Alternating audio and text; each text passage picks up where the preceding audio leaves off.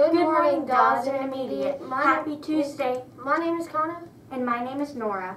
You're watching Hawks 10 News in the Morning. Please stand for the pledge. Attention, salute, pledge. I pledge allegiance to the flag of the United States of America and to the republic for which it stands, one nation, under God, indivisible, with liberty and justice for all. Now for a moment of silence. You may be seated. Hey Connor, what do you call a groundhog that learned karate? I don't know. What? A pork chop. Today's lunch will be chicken bites with honey mustard, beans, and a Dutch waffle. Don't forget your fruit milk and juice. Student Council is selling Valentine's candy grams each morning in front of the gym. They are 50 cents each or two for a dollar. This Friday is the last day to purchase candy grams. They will be delivered to classes on Valentine's Day.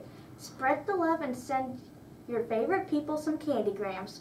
Class pictures will be this Thursday. Yearbooks are on sale for $35 and can be purchased until February 18th.